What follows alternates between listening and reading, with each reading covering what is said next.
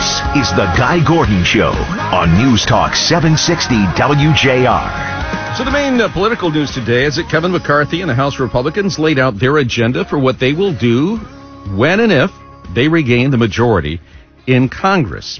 And uh, it is more of a broad set of goals and ambitions and pledges on principle than it is an actual manifesto of how to get there. But uh, whether it's uh, whether it's crime, whether it's inflation, uh, they've got a lot of agenda items, and they say we're going to make this constituent based and focused and deliver on it. Uh, so will it work? Also, Tudor Dixon raising some eyebrows and drawing some fire for trying to change the conversation on abortion. We welcome in David Dulio, uh, professor of political science and director of the Center for Civic Engagement at Oakland University. Uh, David Dulio, good afternoon and happy Friday. Good afternoon, Guy. Nice to talk to you as always. Good to talk to you. So, you know, political lore would herald Newt Gingrich as a genius for doing something similar with his contract for America, you know, nearly 30 years ago. It's an old play out of an old playbook. Will it be effective in this highly partisan modern era? We'll have to wait and see on that. But I think for now, it's a really smart move. And I say that for a couple reasons. One, many of the issues that uh, this plan unveiled by Leader McCarthy and, and other Republicans today are at near the top of the list of concerns for Americans, right? And it may not be the top ones for, for each person out there, but they are issues that resonate with a lot of folks. In addition, uh, I, I think Republicans are trying to give voters not just in their base, but trying to reach to uh, a group of voters that they've had trouble with recently, uh, if we're being honest about it, into the the moderates and the independents, and they're trying to give them a reason to vote for Republicans, not just against Democrats in this upcoming midterm. And, and I, I agree. I think anytime you can lay out a list telling people exactly what you intend to do, you can kind of clear the clutter as they try to make the agenda about something else. And we've seen this with abortion. Uh, Democrats seem to want to talk about nothing but. I want you to listen to what Tudor Dixon did in an interview. Um, this was on a, I believe, with a, with a blogger, and she's drawing some fire for it. She wants to steer the conversation away from abortion, and I understand that. But it's the what what she says and the way she does it. Here's what she had to say as she kind of wanted to sidestep the issue. Cut six. I've shared my personal stance. This is not an issue that the governor has an impact on. This would have to go to the legislature, but as you know, a judge has just ruled on abortion in the state of Michigan. It's also on the ballot. This is up to the people. The fact that this has come up as an issue is what I called out on Twitter the other day. This is not an issue in the governor's race. How will that fly, David? She made her pro-life credentials one of the central points of her primary campaign. It is still one of the big agenda items on her website, but she says, yeah, this isn't an issue for a governor. Has she not heard about the veto? Does she not know that you can file suit, that you control an executive branch that has health and human services under its umbrella? Yeah, you know what I think she's trying to do is is uh well it's clear what she's trying to do, right? Is to is to get this governor's race back on some turf where she has an advantage over Gretchen Whitmer, whether it's on the economy, sure, COVID policies. Uh, you know, but to I, say I, I have no control, it's not an issue for a governor. Is is that disingenuous? I'm not so sure it's disingenuous. I think she's she's obviously just relating it to the fact that we're going to have this ballot proposition, right? Where the that's going to if it passes, and abortion rights into the Michigan Constitution.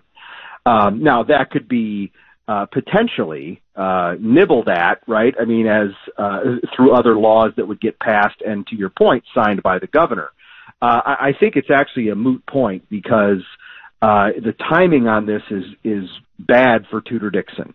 It, it everybody already knows, thanks to all of the ads that that uh, Governor Whitmer and her allies have been airing. They mm-hmm. know where she stands on this, and it's out there as a uh, as a main issue in this in this election. And she's going to have a hard time sidestepping it or or changing the agenda. Yeah, I should point out there, by the way, too, that she was uh, talking with Rachel Louise Just at RLJ News. Uh, that's where we got that soundbite. Yeah, I don't know. If I'm a pro-life Republican and I voted for her because I knew she was going to be a pro-life warrior, I don't know that how it would sit with me. She says, well, yeah, I'm not going to be able to do much for you as governor on that.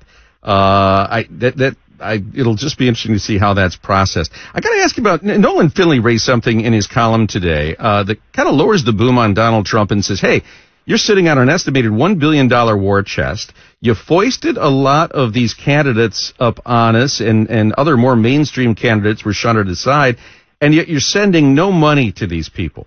Is that a legitimate complaint?" Absolutely.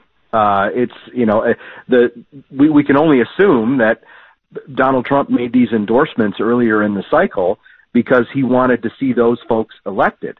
Well, now some of those same folks are having some real trouble in the general election. And if there is all of this campaign cash that's that's sitting there, and there's there, I've been reading rumors in the last couple of days about how you know he might try to transfer it to another entity, which he could then use to support a, a 2020 presidential bid. Well, it, it now is the time to help these candidates in the in the last seven or eight weeks of the campaign.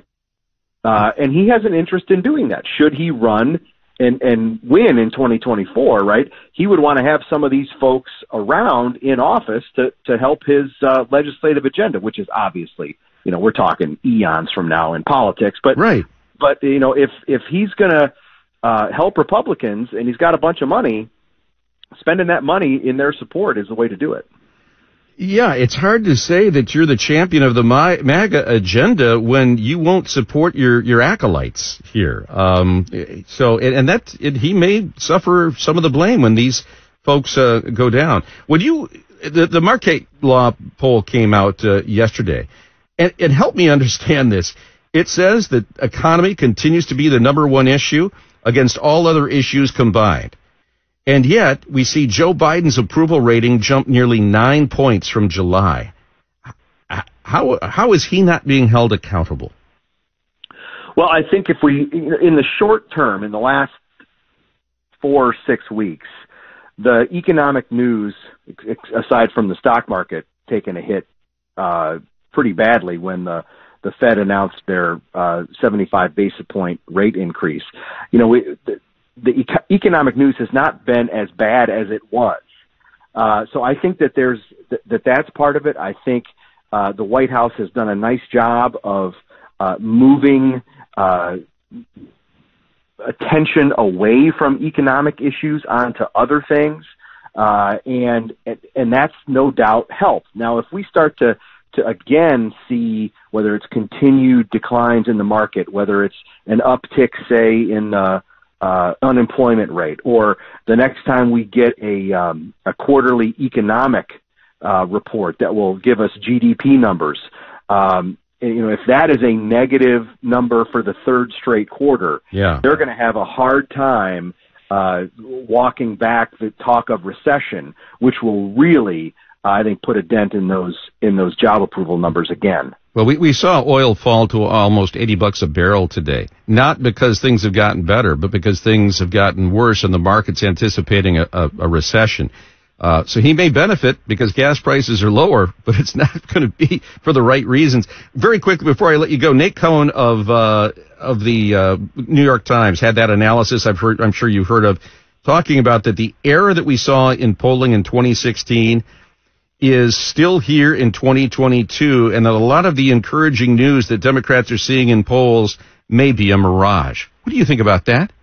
I think that's decidedly possible. Uh, you know, pollsters have a really hard job these days, and they're, they're, the key factor that they have to try to, to work out is to anticipate and predict what the electorate is going to look like on election day. Mm-hmm. That is exceedingly difficult, really tough job for pollsters these days. Yeah, it is. I understand. By the way, uh, you've got some important events coming up, and I want to g- give folks a chance to uh, see you. Oh well, thanks, thanks for that, guy. We, you know, we're uh, we're going to engage on that abortion issue at, at Oakland University. We're going to have a Lincoln Douglas style debate, uh, virtual, uh, on October 11th at 7 p.m. between two uh, nationally known women uh, thinkers on this issue. Uh, Jill Filipovic is a CNN columnist